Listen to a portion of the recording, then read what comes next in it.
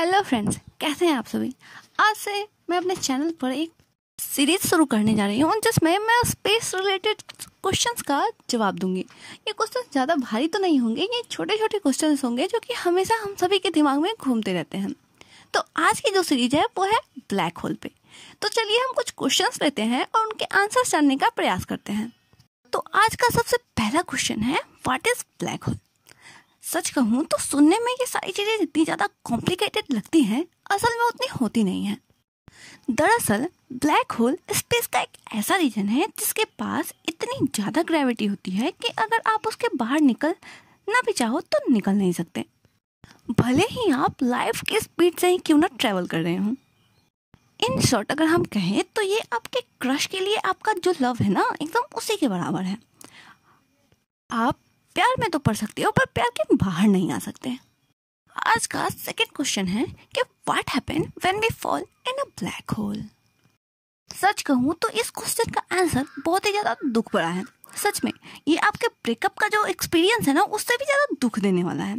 अगर आप black hole में गिर जाते हो तो जैसा कि आप सभी जानते हैं कि ब्लैक होल की ग्रेविटी बहुत ही ज़्यादा होती है। तो ये आपकी बॉडी को इतना ज़्यादा स्ट्रेच कर देगा कि आपकी बॉडी टुकड़ों में बढ़ जाएगी। आपकी बॉडी जितनी ज़्यादा अंदर जाती जाएगी, उतने ही ज़्यादा टुकड़ों में बढ़ती जाएगी। और तो और, यहाँ टाइम इतने धीरे धीरे बीतेगा कि आखिर में बाहर से देख रहे लोग भी इसे एक्सपीरियंस कर पाएँगे। और फिर आप इवेंट होराइजन तक पहुँच जाएँगे, जहाँ से निकलना मुश्किल ही नहीं है, बल्कि नामुमकिन है। और जब आप इवेंट होराइजन को भी पार कर जाएँगे तो आप हमेशा के लिए वहीं पे ट्रैप हो जाएँगे। वैसे सच कहे तो किसी को भी नहीं पता कि आखिर ब्लैक होल में गिरने के बाद क्या होगा, क्योंकि ये तो बस साइंटिस्ट का अनुमान है। लेकिन अगर कुछ साइंटिस्ट को माने तो उनके कहन कहना है कि अगर आप ब्लैक होल में गिरते हो तो आप एकदम सिंगुलैरिटी के पोजीशन पे आ जाओगे। और कुछ एक का तो ये भी कहना है कि अगर आप ब्लैक होल को पार करते हो तो शायद आप एक नई दुनिया का एक्सपीरियंस कर सकते हैं।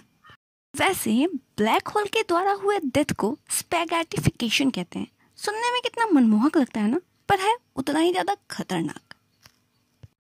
तो बस आज के लिए इतना ही। अगर आप के कुछ क्वेश्चंस हैं तो आप कमेंट में लिख के पूछ सकते हो और आपको ये एपिसोड कैसा लगा आप मुझे ये भी बता सकते हैं। तो stay tuned and thank you for watching